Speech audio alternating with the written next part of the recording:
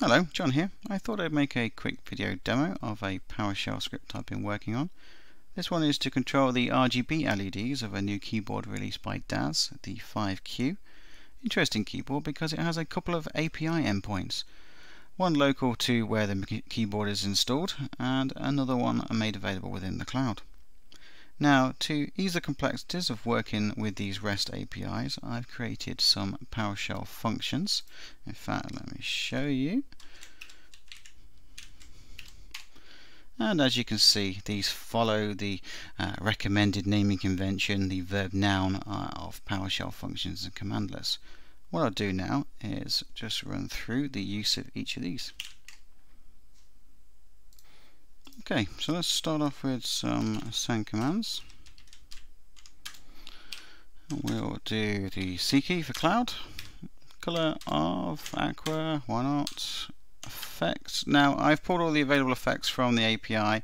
I don't believe that these are all available on the current firmware release of the keyboard. I do know that Blink is, so we'll start with that one. And we'll do cloud endpoint and we'll do a name of cloud and a message of you guessed it cloud. Okay there's a bit of a common theme there. Let's do uh, another key.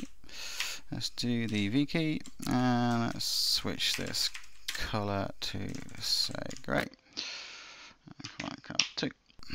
Okay now you'll see they've already hit the signal center. As soon as they hit the signal center, then shortly after that you'll see that they'll update on the keyboard as well, just a few seconds later.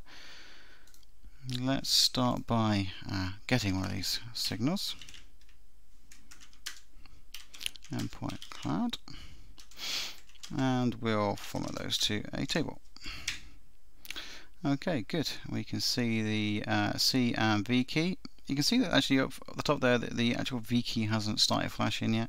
There can be a bit of a lag when you use the Cloud API, uh, it's expected, so uh, it will come through eventually. Now, you'll see as well that from this table view we've got things like um, which key they are, obvious uh, name and messages that we set earlier, and some extra properties like is read and is muted. Now you can use those in your script for some logic reasons. So let's update is read to, well, it's false now, so let's set them both to true. Okay, uh, just notice that V key started flashing now, so that's that's done. Uh, and now if we collect those uh, commands, we can see that both of those are set to is read. Great. And now let's remove them. Done. Okay, while that's cleaning itself up, let's send some to the local API for speed comparison. Uh, color, let's go with fuchsia. Endpoint set color and endpoint we'll do local. Now you can see as soon as I press that enter key, that L key uh, changed immediately. And that's one of the benefits of using the local API it's not bouncing around off any other servers at DAS uh, and it's just as you see it's just instant. Now this does allow you to work with more keys than what you would do if you were to go through the API of the cloud uh, or at least you'll get a better response rate. So for a wacky example here's a script I wrote earlier this one is going to set every one of the keys uh, on the local API to blue. So, and I say every one of the keys, I actually meant A through Z. But, okay, so let's get those.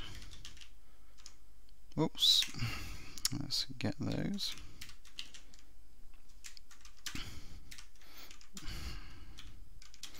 And again, we'll format those to a table, otherwise this is going to be unreadable and quickly see. Yeah. A through Z of all those keys. Also cleaning them up. Clean up after ourselves here. It's as easy as that. Okay back to a clean slate.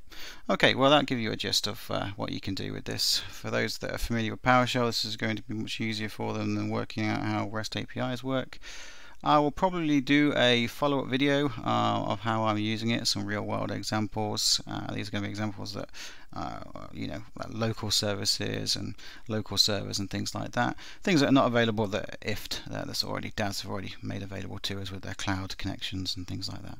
All right, okay, thanks for watching. Cheers, bye.